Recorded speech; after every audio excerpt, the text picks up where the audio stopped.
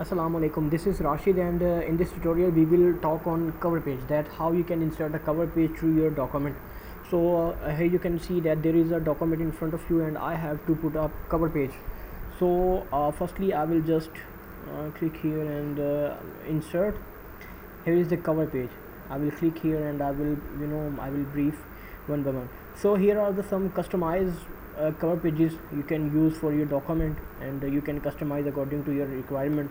If you want to get more cover pages you just need to come on office.com and uh, you know here here will be some more uh, customized cover pages and you know uh, remove current if if you insert already insert uh, cover page and if you want to remove that cover page you will remove from here so firstly i will uh, i want to insert that cover page. So i will just click on it. Now you can see here is the cover page. So document. I will just click here and i will write uh,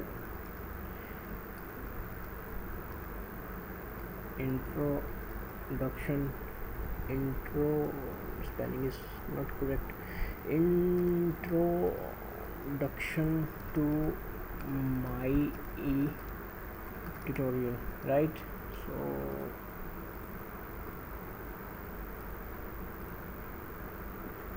and uh, then I will come up here. My e tutorial company name already I will just delete it company address Lahore so now you can see that uh, I have customized my page already. So uh, here is the main heading introduction to my e-tutorial and here I company name my e-tutorial and that, that is address Lahore okay?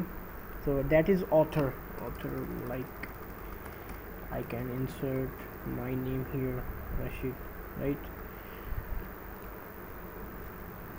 Rashid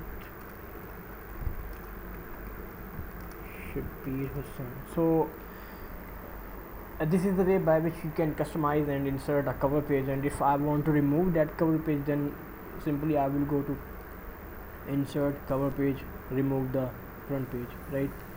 So the cover page will be vanished. So this is the way by which you can use cover pages. You can customize it. You can you know like uh, vanish cover pages. So this is all for this tutorial and inshallah see you in the next one. Thank you